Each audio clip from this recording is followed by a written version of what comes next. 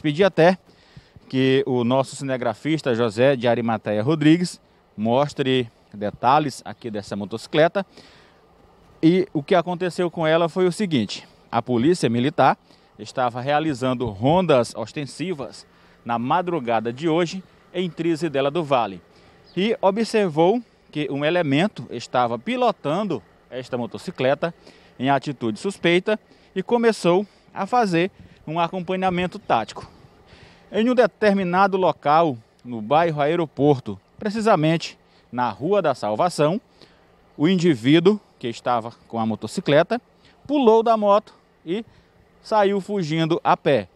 A polícia militar continuou acompanhando o elemento na intenção de abordá-lo, quando de repente ele fez menção de que iria puxar algum objeto da cintura. O policial pensou que se tratava de uma arma, ou uma arma branca ou uma arma de fogo.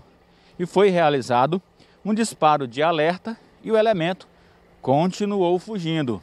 Logo na sequência, na intenção de pará-lo, o policial efetuou um disparo em direção à perna do indivíduo.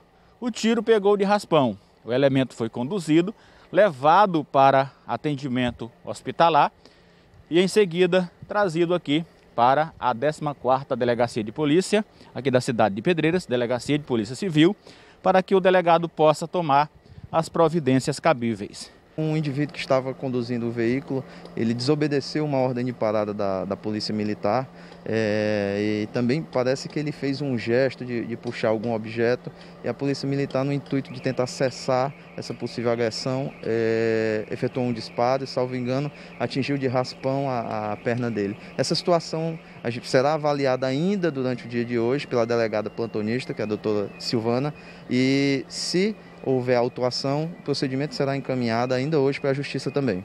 Delegado, vale ressaltar que a Polícia Militar, quando pede para alguém parar, tem que ser obedecido. Né?